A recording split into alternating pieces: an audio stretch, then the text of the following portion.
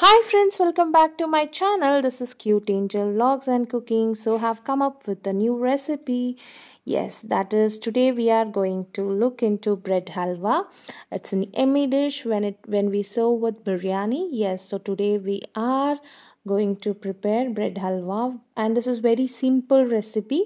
I'll let you know uh, the ingredients what and all we have in the house. So keeping that we are going to make a bread halwa without adding any extra uh, flavors into it okay? So we'll get into the recipe. For that I have taken a loaf of bread. I have taken half loaf of bread and I'm going to add it into a jar okay? Mixie jar and let me make it powder okay? So I'll show you so like this. So once we make it a powder like this I'm going to add it to a pan okay? So heat up the pan and then I'm going to add this crumbled bread into this and I'm going to fry it for some time so that the color changes like this. So let it again fry. So it has to change yes like this it has to change like this. So once it is done I'm going to transfer that to a different plate. And then in the same pan I'm going to add one cup of sugar and I'm going to add one and a half cup of water. That is the ratio for this. You can take any kind of cup but you have to take one one cup of sugar. So for that you have to take one and a half cup of water.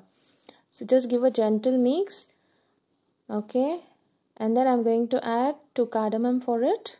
And just let it boil. So once the sugar is boiled the sugar syrup is boiling i'm going to add all the scrambled uh, whatever i have grinded in the mixer right? So i'm going to add that powder to it and give nice smell. So as soon as you add it it will just you know absorbs all the sugar syrup and you'll get a thick consistency so after a minute frying, I'm going to add 2 teaspoon of ghee.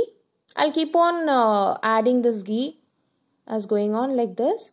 So let me mix again for some time, for 1 or 2 minutes. The consistency of halwa, it should not stick to the pan.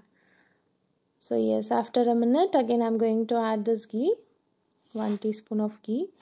Now again I'm going to mix it. Keep the stove in a cast on a low flame see you can see here it's just it's not sticking to the pan so in this consistency meanwhile I'm going to add 1 teaspoon of ghee and I'm going to add cashew nut to it and add it to this. This is the exact consistency of halwa where it should not stick to a pan. Ta-da! Here is the bread halwa is ready to eat.